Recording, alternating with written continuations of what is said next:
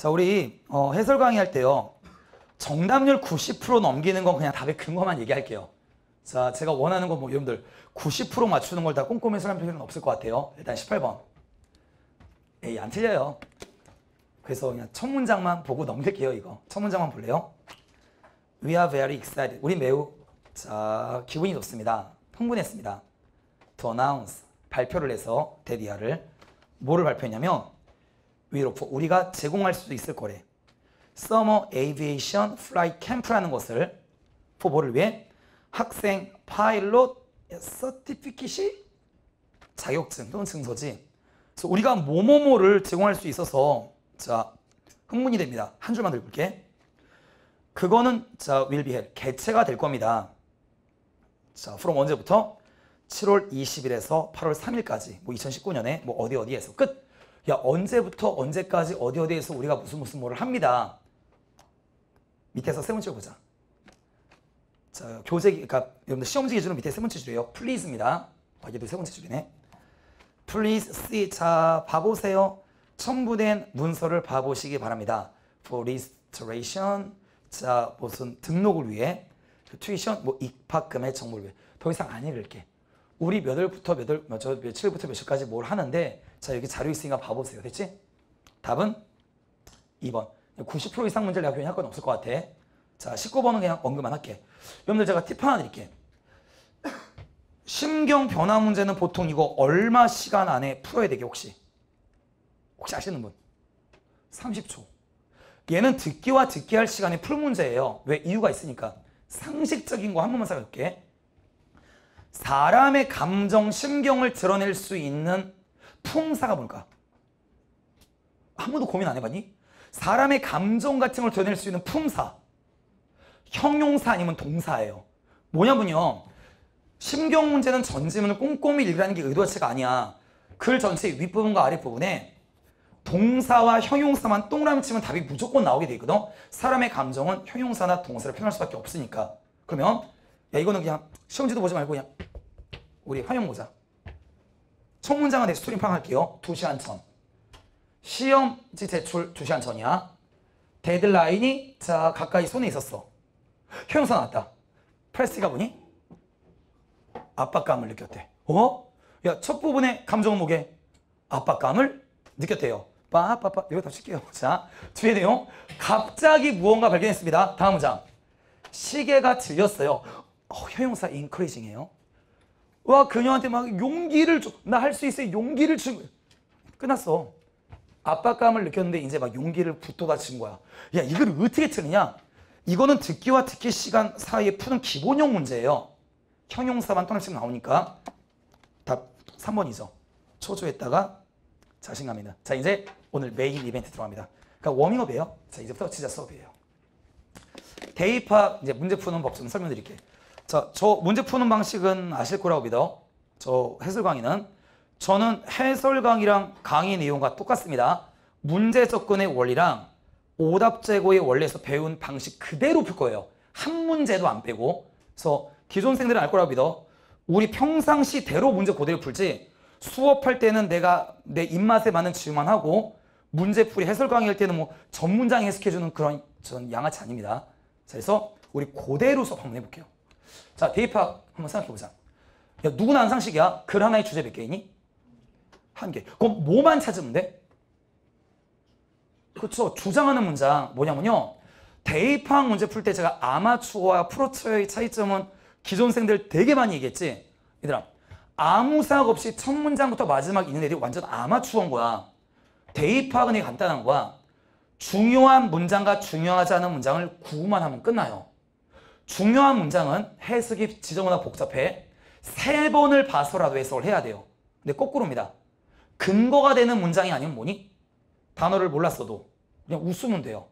해석이 안 되면 그냥 웃으면 됩니다. 아 어렵네. 그다음에 시험 끝나고 옆에 친구가 막, 막 스트레스 받으면 그냥 웃어주면 돼요. 그다음에 나오면서 한마디만 하면 되죠. 해석은 김기철. 아 미안해 뭐 하는 그래 뭐냐. 자, 뭐 농담하기 싫어하냐?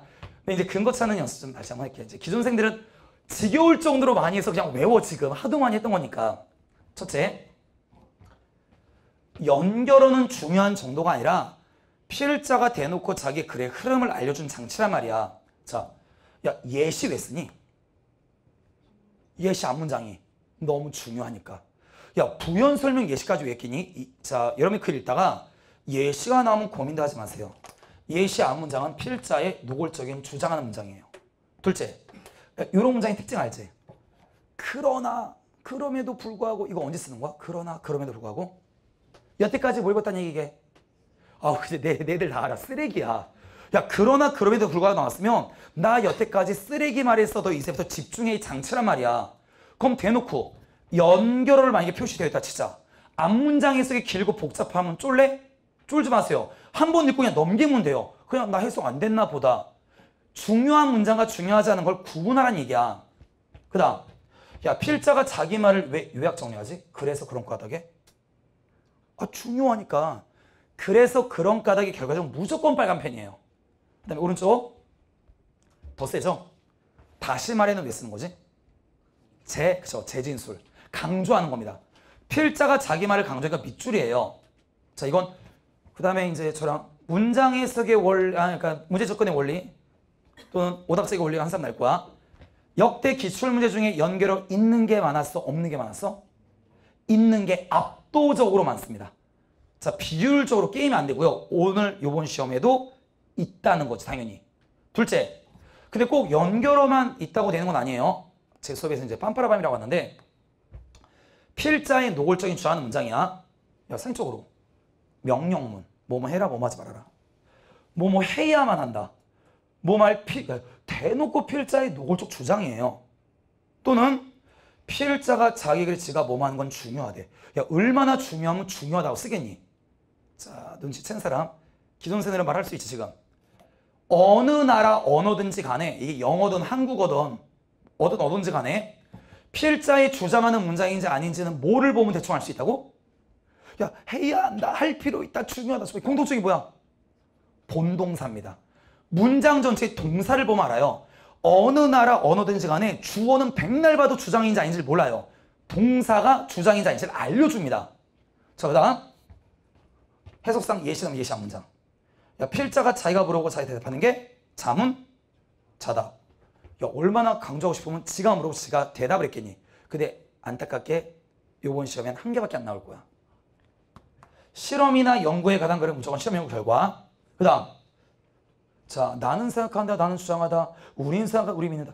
나 이거 어느 수업을 하든지 간에 이거 맨날 반복하는 거 아시죠? 우리 기성생들은. 이제 외웁니다. 하도 많이 해서. 그 다음, 마지막 이거예요.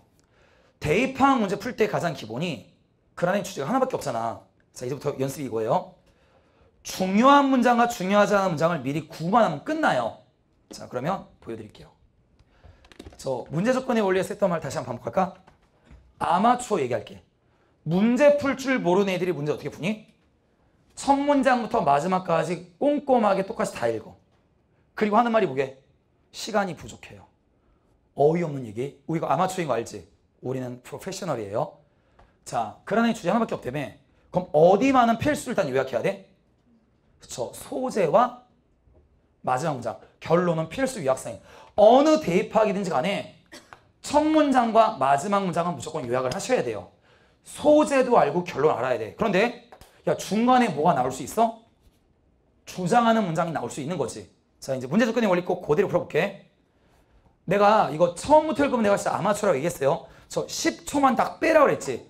문제 풀기 전에 10초만 문장 들어가지 마. 문장의 구조를 보세요. 내가 근거되는 문장과 근거되지 않은 걸 미리 구분하고 있는 거야. 그럼 이따 강약이 되거든. 강조 주장하는 문장이면 세 번을 봐서라도 해석을 하는 거고 근거가 아니면 그냥 해석 안 되면 읽고 넘기면 되는 거야. 자, 그때 방식대로 그대로 하자.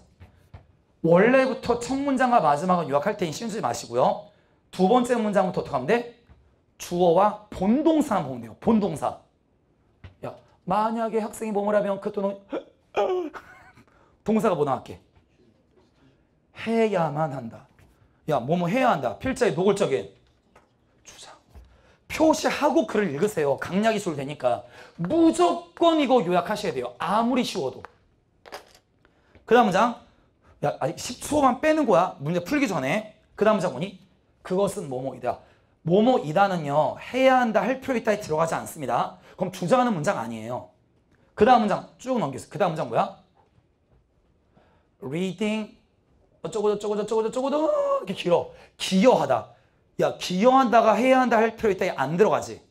그럼 그 다음 문장 이것은 암시한다. 해야 한다 할 필요도 아닙니다. 끝. 여러분들 제가 우리 대입학 문제 풀 때요. 내가 이거 진짜 얼마에 풀었는지 아니? 50초에 풀었어요. 뭐냐면 읽기 전에 근거되는 문장 표시하고 있는 거와 아무 생각 없이 읽는 게 속도도 얘가 더 빨라요. 정확성은 비교가 안 됩니다. 자, 왜 그런지 볼게요. 난 이 글에 소재도 알아. 주장하는 문장도 알아. 결론도 알아. 근데 어떻게 틀려? 야, 소재도 알고 결론도 알고 중간에 주장문도 알고 있는데 틀릴 수가 없다는 얘기야. 정답 구하지 말고 뭐라고? 오답만 제끼면 돼요. 그럼 첫 문장 들어가 보겠습니다.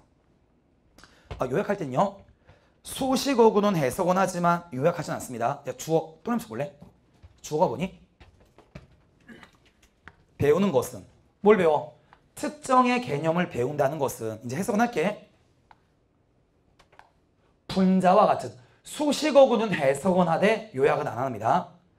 특정의 개념을 배운다는 것은 동사하자.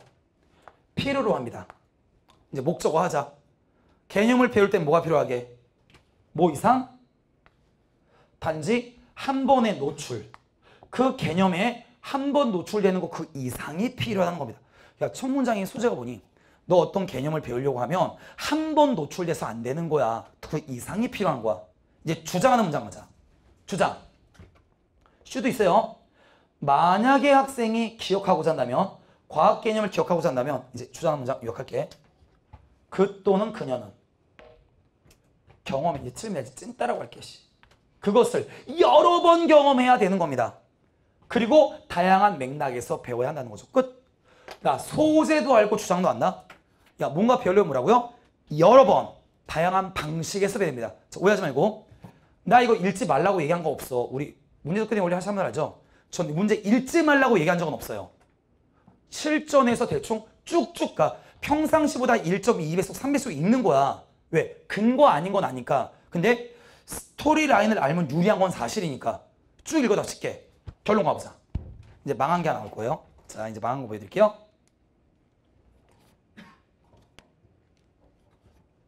궁극적으로 이것이 문제가 하나 있다.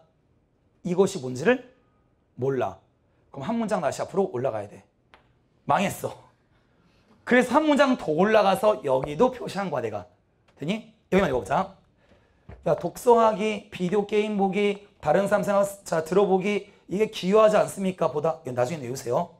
솔리드가 형용사일 때 확고한 또는 견고한 확고한 개념의 이해를 같은 말이야. 이것저것 해야지 되는 거 아닙니까? 결론 궁극적으로 이것이 자 이끌 거야. 야 서브센티브가 상당한 유용한 이해를 복잡함과 그 뉘앙스의 그 개념의 끝. 야 소재 주장 결론 알고 있는데 어떻게 틀리니? 소재 한 번 이상 노출돼야 된다. 주장 여러 번 다양한 방식으로 결론 그러면 이해되는데 도움 준다. 이거 진짜 1분 코스 안에 끝낼 수 있는 문제였습니다. 이건 오답 안 지울게요. 다 보이니까. 다몇 번이겠니? 1번이었어요.